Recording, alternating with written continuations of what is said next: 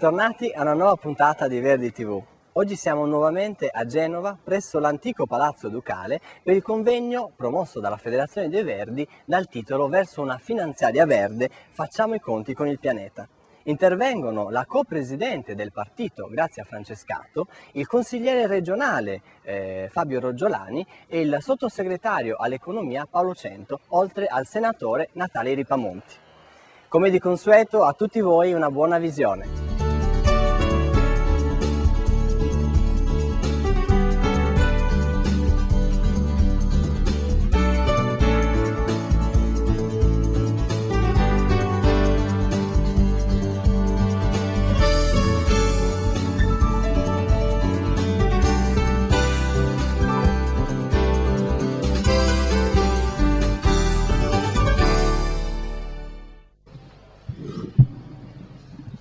Grazia prima di tutto ringrazia. Ringrazia i Verdi Liguri e Genovesi non solo per il lavoro che hanno fatto ma anche per la scelta del luogo. Io credo molto nella forza dei luoghi, penso che la scelta di tenere un congresso in un posto piuttosto che un altro non sia assolutamente neutra, anche dal punto di vista energetico, e eh, poter avere questo palazzo ducale è una scelta della politica della bellezza. Non so quanti di voi abbiano letto quel libro secondo me fondamentale di James Hillman che si chiama appunto Politica della bellezza, dove lui dice che ogni atto, ogni azione tesa a preservare la bellezza che ahimè è in via di estinzione è un atto squisitamente politico e quindi ringrazio i Verdi Genovesi anche per questo.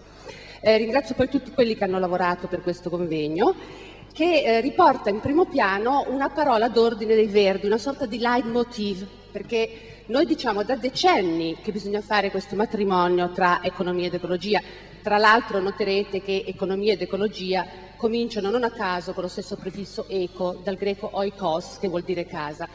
Naturalmente questa è stata un'eresia a lungo, lo dicevamo soltanto noi, e trovavamo pochissimo ascolto nel mondo circostante. Ricordo che quando ero presidente del WWF, se lo ricorderà Stefano Lenzi, facciamo una bellissima campagna nel 92 se non vado errata, che si chiamava Taking Nature into Account. L'abbiamo presentata al Parlamento europeo, cercavamo di far capire quanto fosse importante appunto unire la dimensione economica, sociale e ambientale, ma devo dire che eh, forse eravamo dei forerunners, eravamo veramente dei precursori troppo e la cosa cadde un po' nel silenzio e nel vuoto e da tutte le parti in questi anni è venuto più che altro un omaggio al mantra dello sviluppo sostenibile, cioè sviluppo sostenibile ormai è una parola che a noi ecologisti fa venire i capelli ritti in testa perché è una contraddizione in termini. Noi abbiamo sempre parlato di futuro sostenibile e abbiamo sempre detto che non vi può essere crescita infinita, quindi sviluppo continuo ad libitum su un pianeta che ha risorse finite una constatazione assolutamente alla catalano, la palissiana, che però anche questa non è stata raccolta. Ma cosa è successo ultimamente? Qual è stato il punto di svolta? Come mai questa nostra eresia è diventata adesso ortodossia? Abbiamo sentito ieri eh, Mussi, abbiamo sentito tutti gli ospiti del nostro parterre politico riconfermare questa nostra scelta. Credo che i fatti siano stati due fondamentalmente. Intanto è scattata l'ora X del cambiamento climatico. Il cambiamento climatico ci è esploso in faccia. Tutti, anche i più disattenti, si sono resi conto quest'inverno con la neve desaparecida, i ghiacci che si scioglievano, le primule al 5 di gennaio, ho trovato sulla maiella, pensate le primule al 5 di gennaio, tutti si sono resi conto che il cambiamento climatico non solo c'è già addosso, ma rappresenta una delle grandi sfide di questo inizio millennio, come diceva ieri Bonelli presentando il patto per il clima. L'altro elemento che sicuramente ha costituito un turning point, un punto di svolta, è stato il famoso rapporto Stern, che lo dicano gli ecologisti, che bisogna mettere insieme economia ed ecologia, non fa notizia, ma se lo dice un grande economista, ex Banca Mondiale, improvvisamente ecco che tutto il mondo dell'economia ascolta, i mercati ascoltano. E c'è stata una reazione davvero planetaria, sia a livello di business, di mondo dell'imprenditoria. Eh, penso che tutti voi abbiate visto gli articoli raffica che sono usciti sull'Economy, sullo Monde, ultimamente è uscito una, una storia proprio su Newsweek abbastanza interessante perché la copertina era un termometro da una parte c'erano i gradi che salivano, ma dall'altra c'erano anche i dollari che salivano. Come a dire, il cambiamento climatico non è soltanto cattive notizie, ma significa anche nuovi mercati che si aprono, nuove opportunità economiche, la possibilità di fare una riconversione economica da cui si può anche guadagnare, perché no? Quindi anche conveniente. Il mondo del business l'ha capito prima perché in genere va più veloce, Naturalmente c'è anche un sacco di greenwashing, bisogna stare attentissimi perché poi tutti si presentano come verdi ecologisti adesso il mondo della politica ha seguito con affanno e con fatica. Ricordo che quando ero Presidente dei Verdi, in fondo neanche tanto tempo fa, 99-2000, quando decidemmo di eh, forzare, di fare in modo che nella finanziaria di allora entrassero un po' di soldi per le rinnovabili e l'efficienza energetica, io venivo guardata come una un po' così, tranne il Presidente Amato che essendo un economista ha capito in anteprima che quella era una strada da percorrere. Poi è arrivato Berlusconi, ha spazzato via tutto e fine. Adesso eh, a livello politico mondiale la reazione è stata invece positiva. Quindi da Blair a Chirac, da Ségolène Royal a, a persino allo stesso Bush, tutti sono diventati paladini dell'ambiente.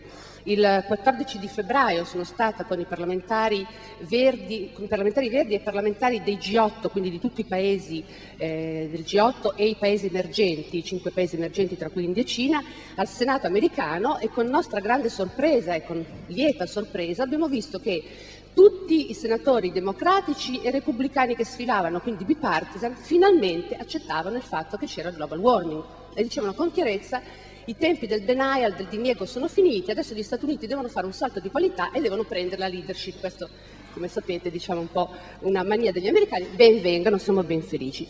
Per il momento la leadership l'ha presa l'Europa. Devo dire che l'Europa ha avuto un ruolo veramente fondamentale sia nel far firmare il protocollo di Kyoto alla Russia, voi sapete che quello era un passo politico di assoluto rilievo, sia poi nel prendere la leadership effettivamente, almeno a livello di proposte, di impegni, tutti ricorderete, parliamo qui a una platea di addetti ai lavori, quindi non mi addentro nei dettagli, ma ricorderete tutti i famosi 320, gli obiettivi che sono stati stabiliti dall'Unione Europea e che tutti noi dobbiamo perseguire.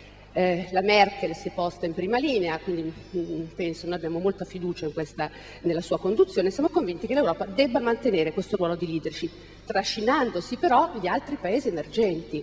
Perché guardate, la Cina ha già superato gli Stati Uniti nella produzione, nelle emissioni di CO2. Avrebbe dovuto farlo nel 2010, invece ha anticipato.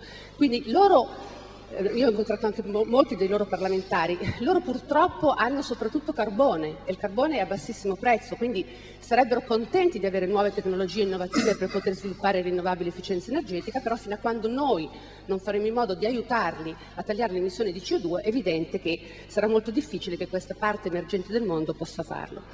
Per quello che riguarda l'Italia si apre una nuova sfida per l'ambientalismo. Noi ambientalisti siamo chiamati a capire e a leggere i mercati, a leggere le nuove regole dell'economia e badate bene che i cambiamenti sono velocissimi. Io dico sempre che all'alba del terzo millennio il fattore dominante è il fattore T, il fattore tempo, l'accelerazione degli eventi, tutto cambia così velocemente che uno non gliela fa a stare dietro. Bene, dentro il mondo della finanza, come diceva ieri padre Zanotelli, tutto sta cambiando velocemente e ogni eh, ecologista che si rispetti deve per esempio cominciare a capire il ruolo dei private equity, degli hedge fund, che sono quelli che adesso dominano l'economia, che sono i padroni senza volto. E non è un caso se la Merkel ha convocato proprio per lunedì, per questo lunedì 7, tutti i sindacalisti d'Europa per discutere di questo, perché nel momento in cui il padrone non ha più volto, non è più riconoscibile, tu non puoi più pretendere che osservi delle regole ambientali e sociali, perché non sai a chi chiedere. Questo è solo un esempio di come cambia velocemente il mondo della finanza e di come noi siamo chiamati a rispondere a questa sfida. Per quello che riguarda i Verdi, avete sentito eh, il discorso del nostro Presidente e Ministro sul patto per il clima, noi abbiamo lanciato questa grande scommessa e siamo sicuri che la società civile risponderà e nel frattempo oggi invece ci siamo concentrati su uno strumento che è la finanziaria, che è uno strumento con cui possiamo provare non proprio a fare il matrimonio tra economia ed ecologia, ma comunque a fare un bel passo avanti per integrare le dimensioni economiche, sociali e ambientali. È un work in progress, vorrei mettere l'accento su questo, inizia oggi, i workshop che si incontreranno nel pomeriggio ed entreranno nel merito e si daranno un metodo di lavoro, poi continueranno a incontrarsi, perché fare una finanziaria verde, lo sa bene Natale Ripamonti eh, con, che con Loredana De Petris e con i nostri parlamentari verdi poi lotta giorno per giorno al Senato e in Parlamento, fare una finanziaria verde, fare un embrione davvero di finanziaria verde è un lavoro immane, enorme. E quindi noi abbiamo pensato che si poteva cominciare mettendo insieme tre tribù che raramente dialogano tra loro, quindi i parlamentari che fanno la finanziaria, gli economisti che poi materialmente la scrivono, che ci ragionano, e gli imprenditori innovativi dei vari settori, che sono quelli a cui compete la, eh, il compito di aprire i nuovi mercati, di far decollare i nuovi mercati. Questa volta saranno soprattutto gli imprenditori delle rinnovabili e dell'efficienza energetica, poi parleremo, dialogheremo, eh, Anna Donati è già pronta a farlo, sapete che è la nostra più grande esperta di mobilità sostenibile, con gli imprenditori della mobilità, poi sarà la volta delle agroenergie, quindi noi pensiamo veramente a un itinerario che si snoderà attraverso una serie di tappe, anche fisicamente sceglieremo diversi luoghi d'Italia dove riportare questo format. Finisco dicendo che penso che sia ormai chiaro a tutti all'inizio del terzo millennio che è in gioco la nostra sopravvivenza, quella nostra, dei nostri figli, dei nostri nipoti su questo pianeta e che tutti quanti dobbiamo capire che l'affare del secolo, il business Grazie. del terzo millennio è tenere in vita la fabbrica della vita. C'è questa rete meravigliosa e fragilissima di ecosistemi che è il pianeta Terra e che ci garantisce la sopravvivenza e ce la garantirà nel futuro se noi sapremo tornare in armonia con Madre Terra. Grazie.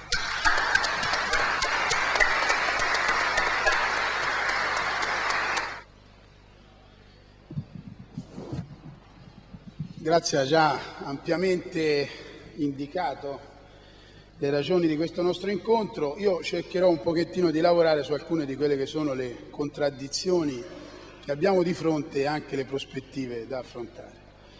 Eh, mi sono fatto una traccia scritta, cosa per me molto imbarazzante, non sono abituato, quindi non, non la leggerò, cercherò però di seguirla perché l'argomento si è andato costruendo in questi giorni e anche con tanti nuovi interlocutori, per cui è evidente che eh, eh, come dire, stiamo imparando, no? siamo a scuola, non siamo eh, come dire, a cacare senno e basta, come dicono in Toscana. Cacare senno è un'azione, scusate la volgarità, ma per me se, se non inizio dalla parte, come dire, da bambino non riesco a entrare in sintonia con chi mi ascolta. Io credo che vent'anni fa noi abbiamo rappresentato proprio qui in Liguria, da Finale Ligure, una minaccia reale allo sviluppo economico di questo paese. Ci hanno vissuto così, cioè noi eravamo il problema. E se intendiamo lo sviluppo come cifre assolute, come conteggio semplicemente di dati in cifre, forse lo siamo ancora oggi, in questi termini. Perché vent'anni fa abbiamo cominciato a vedere come l'aumento del prodotto interno lordo nei paesi occidentali non si sia poi più accompagnato al miglioramento delle condizioni di vita della popolazione e neppure all'incremento dei posti di lavoro. Abbiamo cominciato già allora a capire quello che Stern va dicendo oggi. E con il crescere del prezzo del petrolio si è accresciuto il divario tra paesi ricchi e paesi poveri.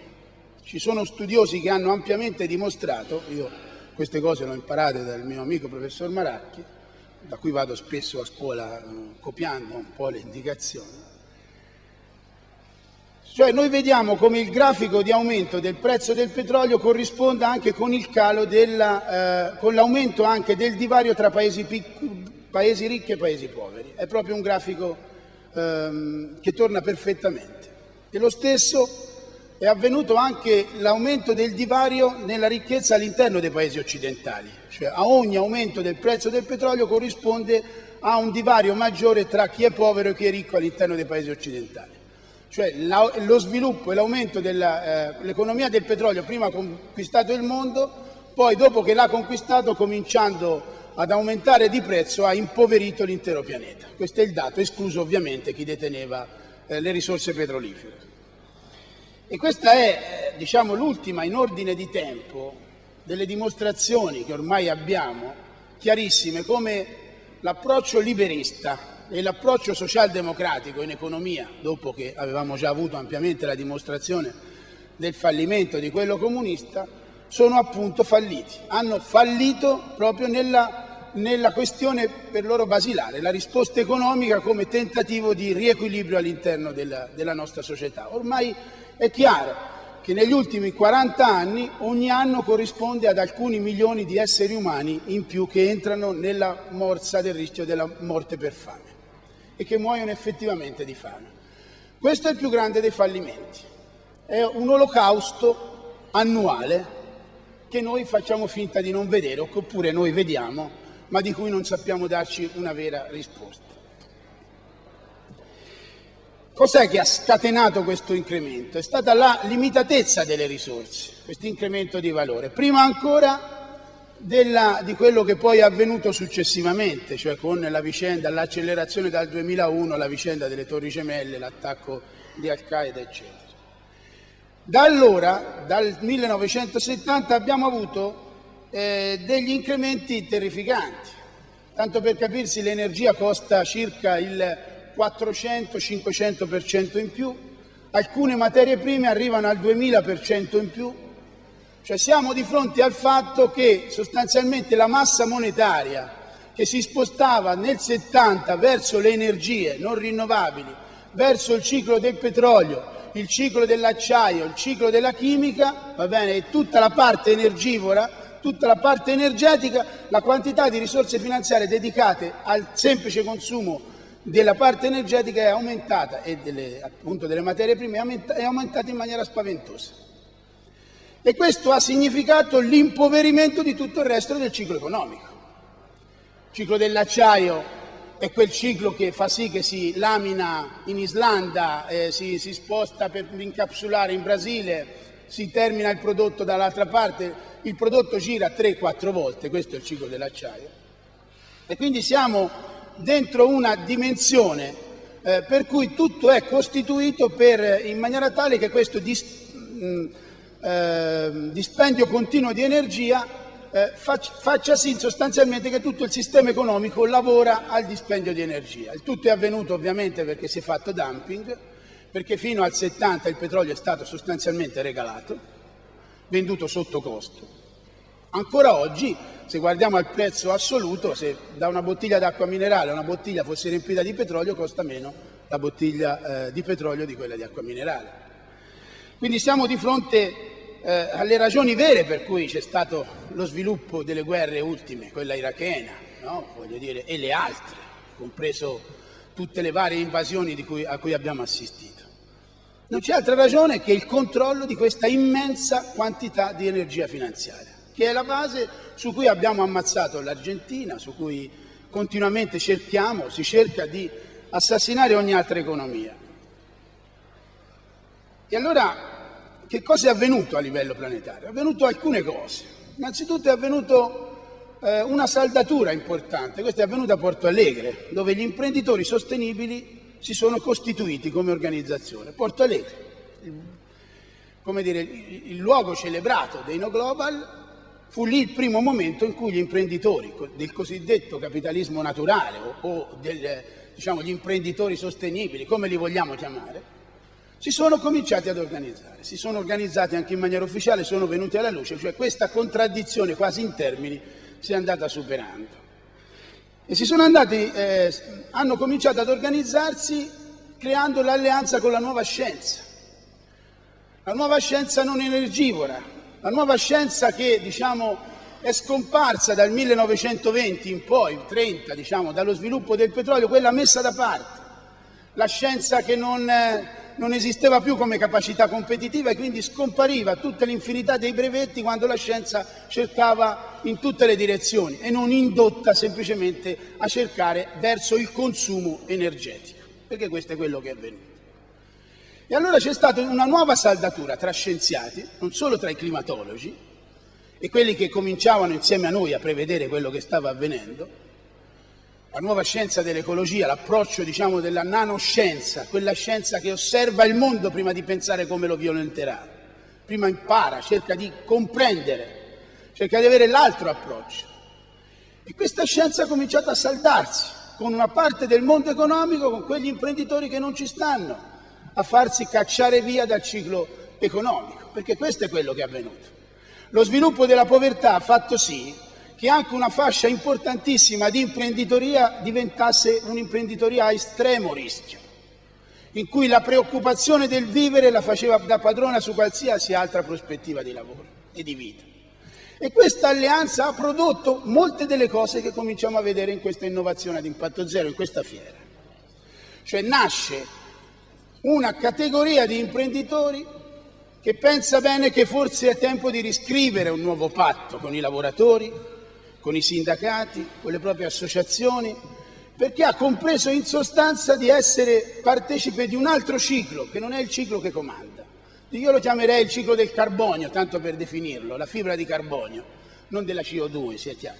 Sto parlando della fibra di carbonio come esempio. La fibra di carbonio è duttile, è estremamente lavorabile, lavorabile un pezzo per volta, non ha bisogno delle presse. È, diciamo, strutturalmente una economia che può ritrovare il proprio centro nelle economie locali. Certo un'economia che non è che non si confronta con le questioni mondiali e internazionali, è chiaro che deve avere anche la capacità di competere, ma è altrettanto chiaro che oggi ogni un'economia che possa dirsi in linea con l'ecologia e l'ecologia diventa economia proprio costruendo un'economia in cui il, il nocciolo di tutto quello che è possibile fare si mantiene e si sviluppa localmente. La cosiddetta filiera corta in agricoltura oggi è l'elemento fondamentale anche in termini industriali, perché voi capirete qual è la differenza. Se noi riusciamo a riorganizzare in termini di produzione di merci, togliendo tutto quello che è il costo energetico di spostamento continuo di queste merci, di continua movimentazione, noi abbiamo una quantità di massa finanziaria su cui operare, quindi una quantità anche di ricchezza effettiva su cui operare che ci dà la forza per tornare a essere competitivi anche a livello locale e l'altra enorme massa finanziaria su cui operare è quella dello spostamento dalle fonti fossili alle fonti rinnovabili. Io mi auguro che gli economisti di stamattina ci comincino a chiarire anche in termini di quanto valgono un prodotto interno lordo, in termini di cifre, spostare un miliardo di euro, dico un miliardo come cifra, dal, eh, dal darli, eh, oltre che all'estero, alle fonti non rinnovabili, alle fonti fossili, a invece a spostarli dentro le energie rinnovabili. Questo cambia la ricchezza. La ricchezza reale. Oppure pensate che la ricchezza reale sia quella cosa che, fatta di prodotti che noi utilizziamo e la cui maggioranza di valore poi viene messa in discarica oppure volatilizzata dagli inceneritori? È quella ricchezza reale? La ricchezza reale, quella è un'altra cosa, è una roba che abbiamo spostato, sporcato che ha sporcato il pianeta e poi finisce in discarica, ma di cui abbiamo toccato solo una parte. Non è quella la ricchezza reale. Ma questo ormai lo pensano gli industriali. Io ho letto sul Sole 24 Ore, il, tra le molte cose molto importanti che leggo, ho letto anche un articolo che non l'ho letto neanche nei, congressi dei Verdi, l'articolo sul re del Bhutan, non so manco dove sia, però c'è, il Bhutan esiste, ora più o meno un'idea ce l'ho che, ha, che, misura dal 72 anche il valore di felicità reale, di, la felicità netta di quel, pianeta, di quel paese. Ma lo scrive il giornale della Confindustria, evidentemente si pone ormai un altro tipo di approccio. Perché noi ormai sappiamo con molta chiarezza che possiamo fare ricchezza vendendo passi, non scarpe. E è questa la svolta che, su cui noi dobbiamo, eh, come dire, sapersi collocare. Si può fare ricchezza, ma si può fare anche un'altra cosa, si può fare tanto lavoro e si può fare lavoro sicuro, stabile, si può fare lavoro in cui finalmente i lavoratori diventano parte della sfida economica e non semplicemente oggetti della sfida economica come uno dei costi da valutare all'interno di questo. Perché quando D'Ercole, nei nostri incontri, mi porta il documento che i sindacati hanno sottoscritto lo scorso anno, di cui nessuno di noi forse conosce, l'immenso valore, in cui i lavoratori di questo paese dicono non solo voglio sapere se produco armi, no? se ammazzo gli altri, voglio sapere se la mia produzione ammazza questo pianeta. Questo hanno scritto i sindacati lo scorso anno, che è un documento di un valore storico straordinario. E, e, fa, e, fa, il paro con quello che io ho visto svilupparsi ultimamente all'interno delle associazioni degli artigiani, Scusate se parlo degli artigiani prima degli industriali, forse sarà tempo, eh? Della Confindustria, ma non per una questione di, di mancanza di rispetto con Confindustria, tutt'altro, ma perché le associazioni che raggruppano milioni di imprenditori che sono al centro davvero della ricchezza reale di questo paese, in questo paese non contano niente.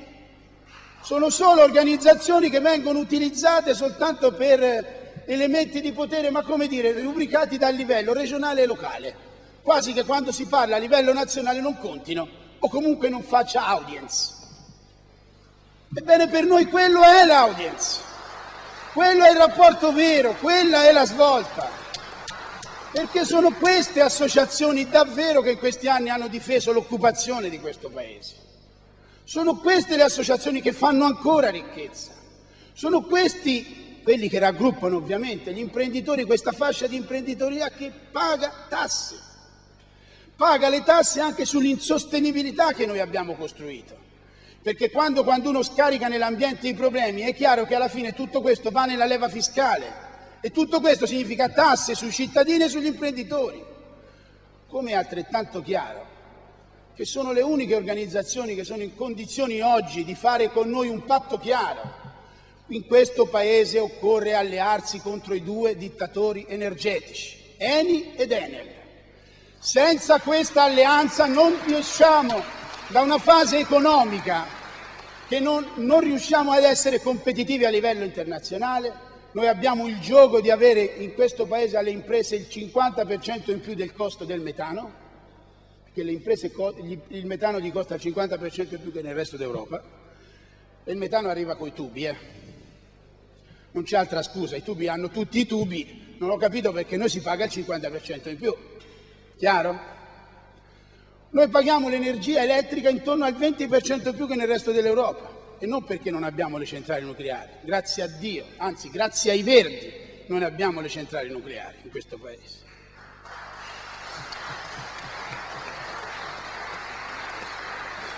E la cosa ancora più grave è che noi nel 1992, con una delle azioni lungimiranti dei Verdi, inserimmo che il 7% della bolletta fosse destinata alle energie rinnovabili.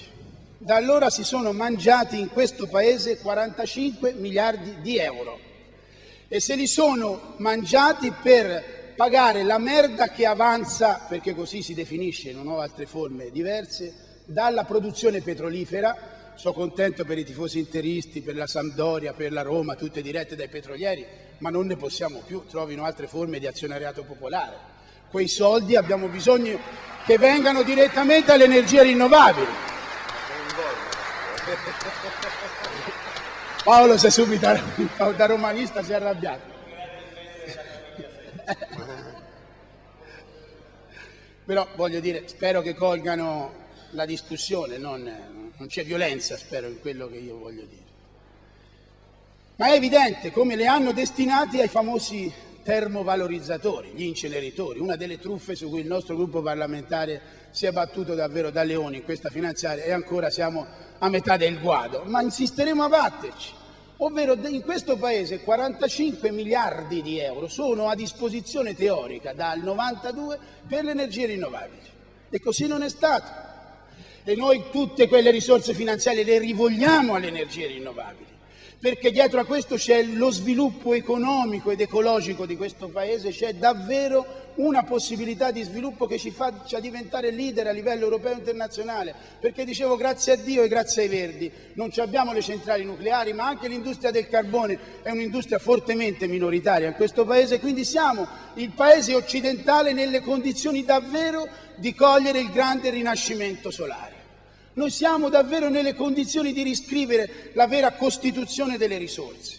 Noi siamo davvero un paese in condizione di avere una libertà mentale, oltre che di lobby, di lobby economiche, che ci consente davvero di scrivere oggi il patto per il clima da Verdi, con un mondo economico che trova in questo patto davvero un'interlocuzione reale, perché ne capisce che noi oggi siamo in grado in condizioni di guidare il Paese, non più di essere una forza politica marginale, minoritaria, che in qualche misura dà buoni consigli poi li applicano quelli intelligenti e bravi. Noi no. Noi sappiamo che dobbiamo non solo dare buoni consigli, fare buone leggi, vero Paolo?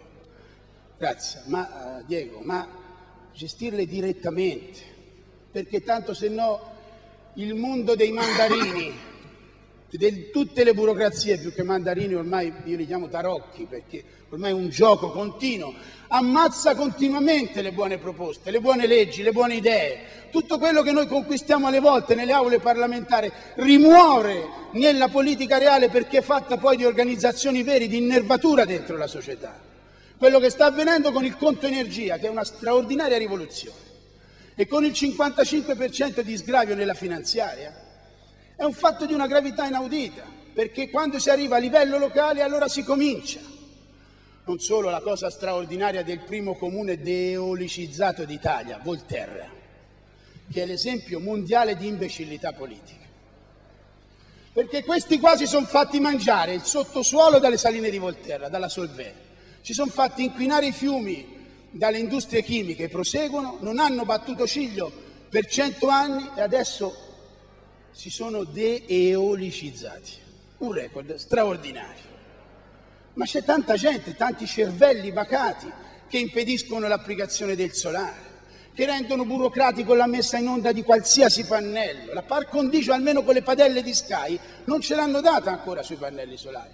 Cioè c'è un ventre molle del paese che non reagisce alle riforme, proprio perché lì si scatena il controllo.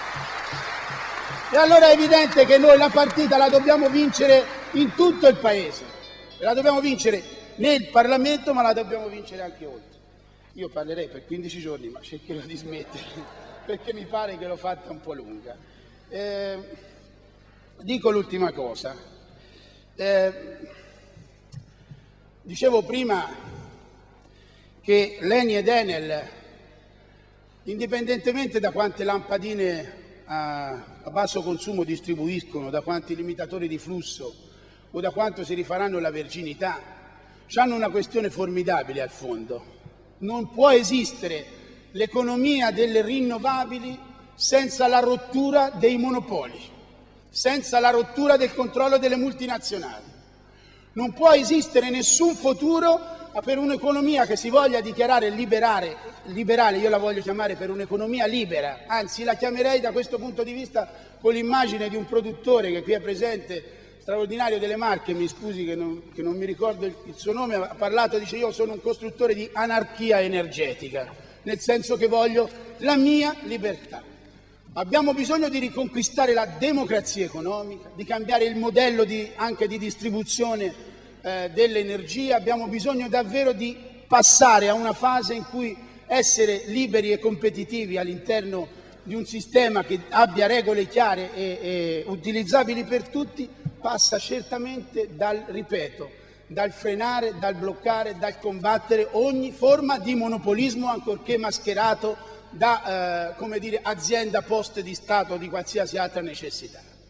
E allora dobbiamo costruire la finanziaria verde e la dobbiamo costruire mantenendo eh, il lavoro di oggi vivo. Io vi chiedo che ogni 15-20 giorni, ogni mese, eh, gli interlocutori di oggi siano presenti ad un tavolo permanente per proseguire insieme ai nostri gruppi parlamentari l'elaborazione delle misure della finanziaria, insieme al sottosegretario, alla nostra delegazione al governo, un confronto permanente che ci faccia arrivare piano piano alle misure reali che ci servono.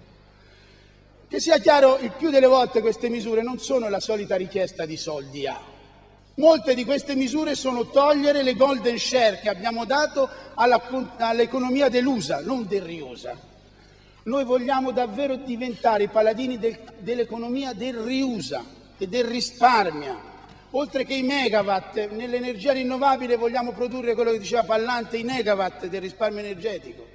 Noi vogliamo dimostrare con la prossima finanziaria che ogni abitazione di questo Paese, concludo, che ogni area industriale di questo Paese è in condizioni finalmente di non essere consumatore netto di energia, tra risparmio e produzione energetica, ma produttore netto di energia.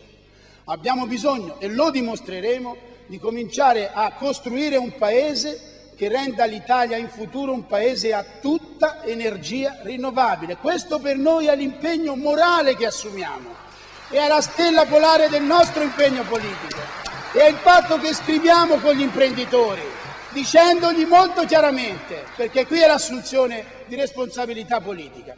Se voi crederete in questa prospettiva, se i lavoratori crederanno in questa prospettiva, noi saremo davvero lo strumento per rendere questa prospettiva possibile.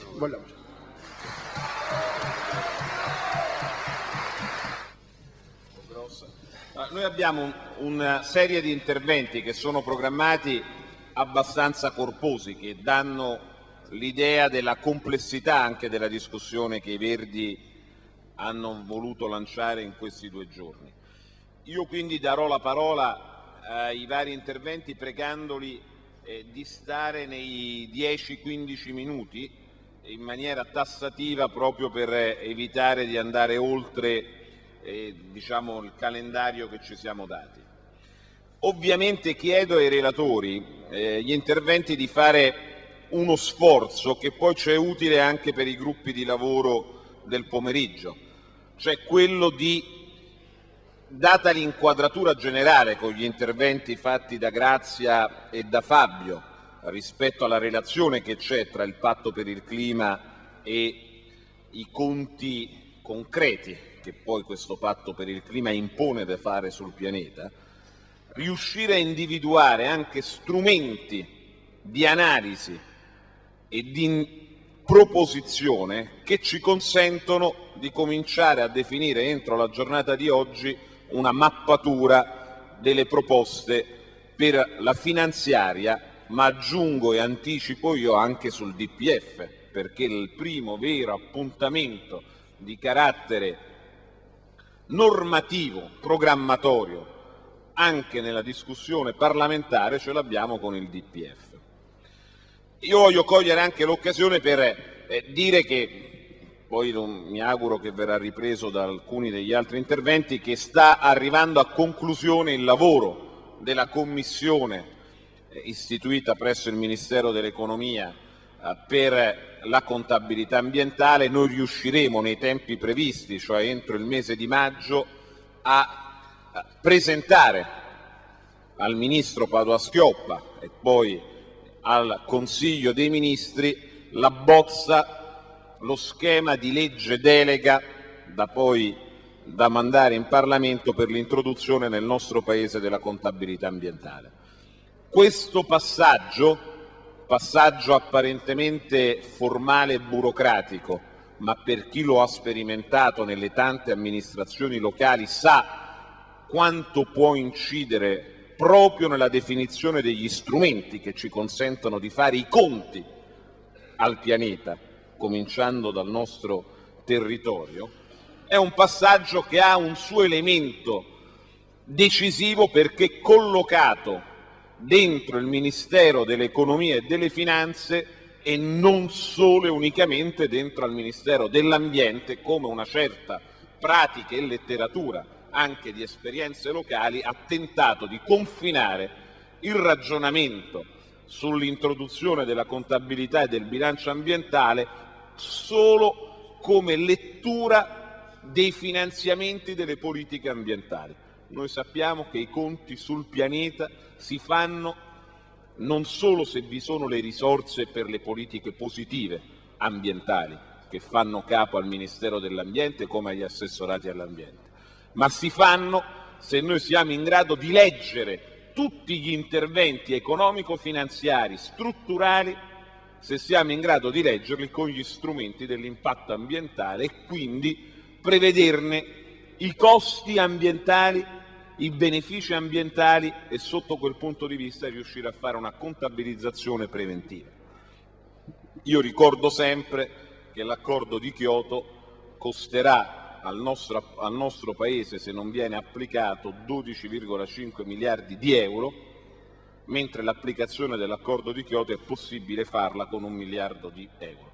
Basta questo dato semplice, matematico, diretto per capire come è indispensabile che a partire dal DPF che sarà presentato il 30 giugno vi sia un capitolo su Kyoto che sia trasversale alle politiche di programmazione economico-finanziaria del nostro Paese e che il capitolo di Kyoto rappresenti un primo passo verso la definizione di una legge finanziaria. Quindi io credo che noi dobbiamo negli interventi di questa mattina e poi do la parola, fare questo sforzo di concretizzazione oltre che di analisi, altrimenti eh, riusciamo, non diamo una visione. Io penso ad esempio, mi viene naturale anche per stare nell'attualità, tutta la vicenda dell'ICI, dove noi dobbiamo assumere anche in questa, io credo in questo workshop anche che c'è una posizione, perché nessuno parla di ciò che ha rappresentato da parte delle amministrazioni locali e dei comuni, anche dei comuni dove i Verdi hanno responsabilità di governo,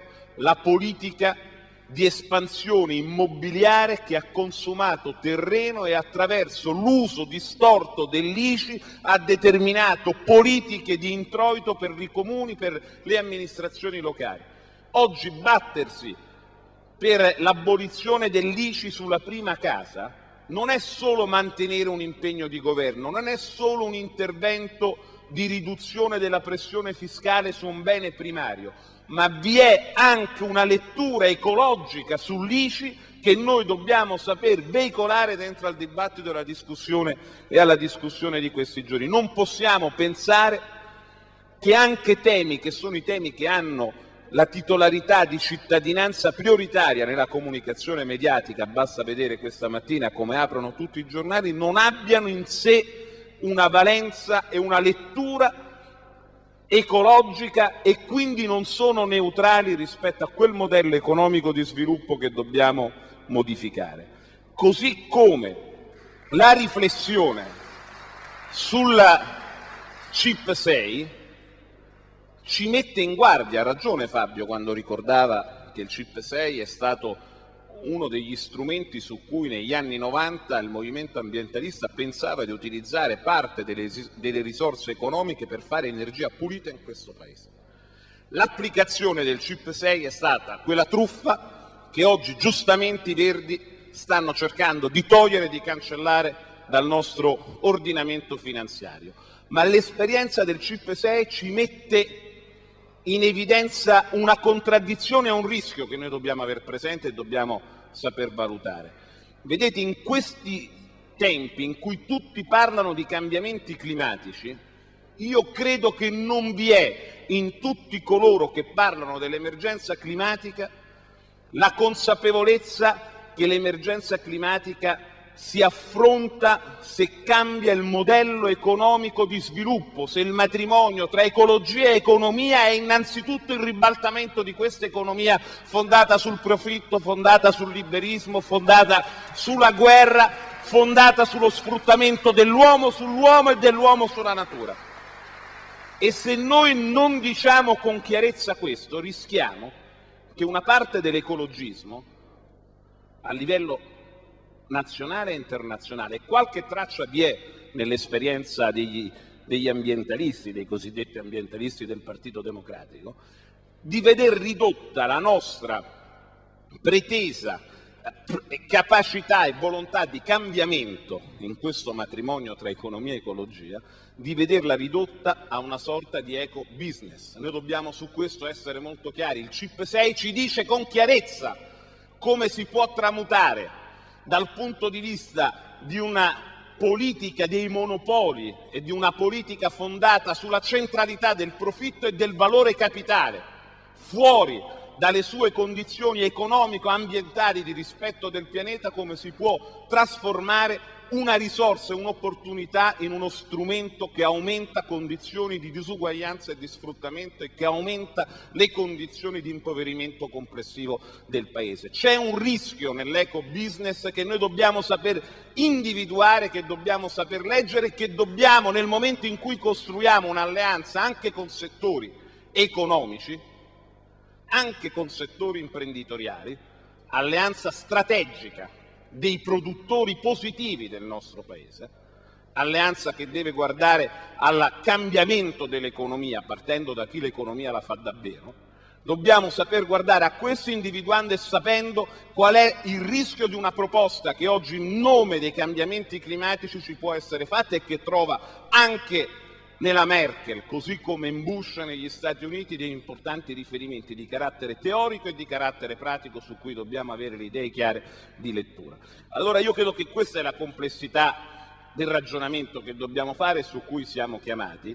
I Verdi mettono a disposizione, io mi auguro che questo forum rimanga un forum permanente, come l'avevamo detto quando abbiamo fatto il convegno sulla legge finanziaria, fare una, una Cernobbio verde, abbiamo fatto una Genova verde perché ci sembrava più importante, ci sembrava non solo scegliere questo luogo anche per la valenza delle elezioni amministrative, ma perché non rincorriamo quel modello che a Cernobbio simbolicamente viene rappresentato dal mondo imprenditoriale, ma abbiamo necessità che questo forum diventi permanente nell'ambito della definizione del patto per il clima. E abbiamo anche la necessità che quel patto di consultazione che anche ieri è stato richiamato negli interventi di Pecoraro Scagno e del ministro Mossi, tra i gruppi parlamentari che non hanno aderito al Partito Democratico, che sono i gruppi parlamentari della sinistra, ecologisti, laici, abbia anche un riferimento in una capacità di consultazione e di patto tra la delegazione al governo di queste forze politiche. Noi dobbiamo, sulla vicenda del tesoretto, sulla vicenda del DPF, sulla preparazione della prossima legge finanziaria, partendo dalla centralità del patto per il clima, così come ieri l'abbiamo declinato, far sì che ci sia un'azione omogenea intorno a queste proposte dei ministri e della delegazione al governo di quelle forze politiche che in Parlamento daranno vita al patto di consultazione. Questo è l'unico modo per non subire l'egemonia del, del partito moderato, l'egemonia dei democratici all'interno della discussione sulla prossima legge finanziaria. Io credo che le cose che usciranno dai prossimi interventi saranno parte integrante di queste priorità che saranno oggetto di questo patto concreto, non ideologico, di consultazione tra le forze politiche laiche della sinistra, ecologiste e pacifiste che non hanno aderito al Partito Democratico.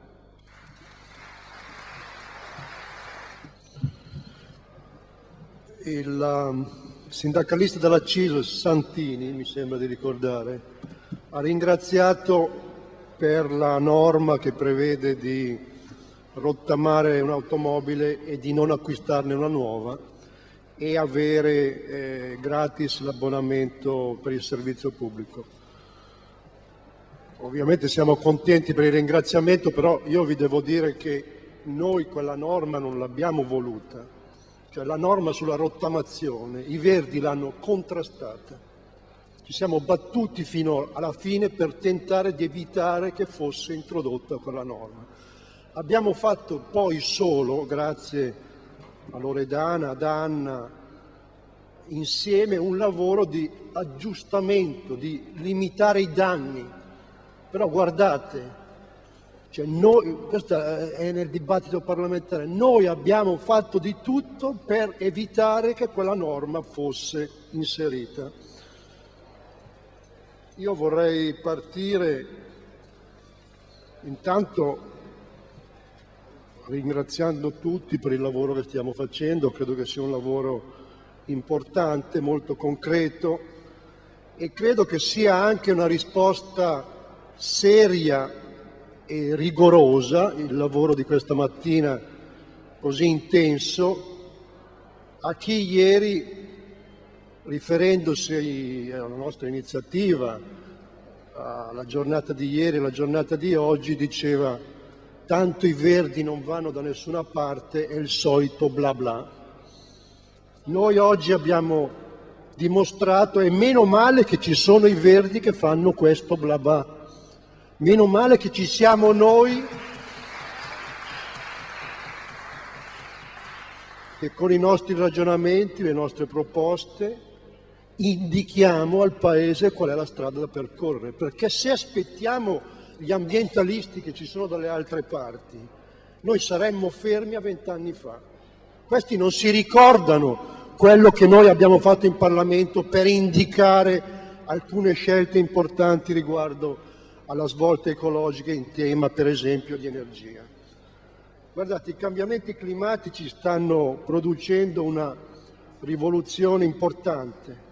Forse non ci rendiamo ancora conto della vastità di questo processo di cambiamento nell'economia, nella finanza, nei rapporti internazionali. Forse non è ancora senso comune la necessità dire, di, di cambiare stili di vita e tuttavia cambiamenti sono in corso a livello sovrastrutturale. Io credo che sia compito nostro indirizzare questa rivoluzione con finalità e obiettivi di sostenibilità, di equità, di sobrietà, di solidarietà sociale. Questo è il compito del nostro soggetto politico. Certo, noi siamo ancora, ritengo, inadeguati, nel senso che siamo ancora troppo piccoli, ma c'è questa necessità, la necessità di costruire un nuovo soggetto politico più forte, aperto alla società civile, che sappia indirizzare il cambiamento che è in atto nel Paese a livello planetario. Qui, da qui la necessità di costruire l'area ecologista, pacifista, dei diritti, della cultura, delle professioni, delle competenze. Noi oggi ci siamo aperti a un confronto serrato col mondo dell'economia, col mondo delle imprese e abbiamo fatto un lavoro importante. Ritengo però, anche ricordando quello che dicevo prima, che non, forse non c'è ancora senso comune sulla necessità di cambiare gli stili di vita, che non basta il confronto con il sistema delle imprese. Occorre aprire il confronto anche con quelli che sono dall'altra parte, i lavoratori, le loro organizzazioni, perché la necessità della svolta ecologica deve avvenire nei comportamenti concreti della gente in carne e ossa, altrimenti è difficile se si se ci si indirizza solo sulla grande infrastruttura, sulla, sulle sovrastrutture, sul confronto politico alto, cambiare realmente le cose e i comportamenti dei soggetti in carne ed ossa. Quindi il matrimonio che noi auspichiamo tra ecologia ed economia deve creare sostenibilità, deve creare benessere e deve creare qualità di vita. Cioè la scommessa è far vedere che essere ecologisti conviene, conviene all'economia, conviene all'ambiente, ma conviene anche alle tasche dei cittadini. Questa è la vera scommessa che noi abbiamo di fronte. Io ritengo, guardate, che dovremmo fare un lavoro importante, l'abbiamo già iniziato, per cambiare il sistema energetico, un nuovo modello di mobilità, cambiare l'agricoltura con una filiera corta, intervenire in modo molto preciso sulla questione dell'acqua come bene pubblico. Occorre un piano di difesa delle falde e dei fiumi, un uso razionale e diversificato della risorsa, il ripristino della rete che perde acqua da tutte le parti, e, pia- e piani regionali per il risparmio. Con chi possiamo fare questo lavoro? Soprattutto con noi, con voi. Lo possiamo fare con quelli che, con gli ambientalisti che aderiscono, aderiranno al Partito Democratico. Io credo che noi dovremo incalzarli, dovremo tentare di trovare degli elementi di interlocuzione, un confronto. E tuttavia, guardate, è difficile, è molto difficile. È difficile perché quando si parla di sistema industriale la prima cosa che fanno è ricordarci che ci vuole il carbone.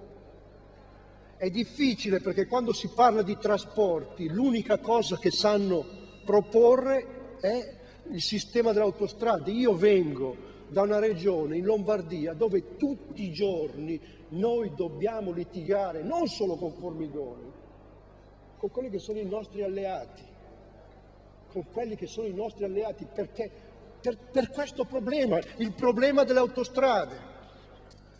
E guardate, noi però non possiamo, come dire, rinchiuderci, noi dovremo incalzarli, dovremo fare in modo che, che si capisca anche nella discussione pubblica se sono più efficaci e giuste le nostre proposte sulla scelta della sostenibilità o se sono più giuste, più efficaci quello che propongono loro. Perché guardate, questa è la discussione. È questa discussione che deve portare il nostro soggetto politico ad ingrandirsi. E poi dovremo aprire un confronto vero, rigoroso, con il nuovo cantiere della sinistra. Perché guardate, le alleanze noi siamo disposti a farli con tutti per ottenere i nostri obiettivi, i nostri risultati. Però c'è un problema di fondo.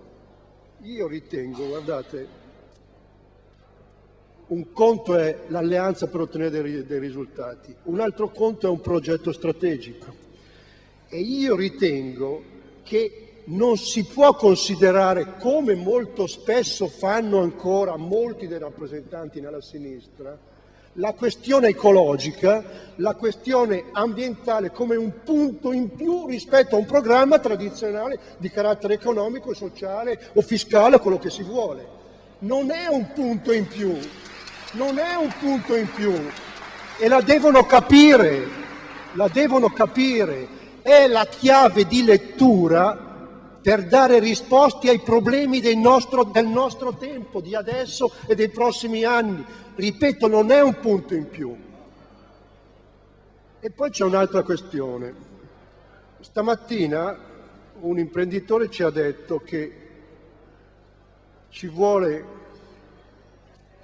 lo Stato deve fissare le regole fondamentalmente. Queste regole devono essere rispettate se si accetta questo tipo di logica, io sono uno di quelli che l'accetta, se si accetta questo tipo di logica bisogna convenire che queste operazioni avvengono dentro una economia di mercato. Non è un'economia centralizzata e statalizzata, è un'economia di mercato. Io ritengo che questa sia una, discussione importante che anche, Verdi, che anche i Verdi devono fare.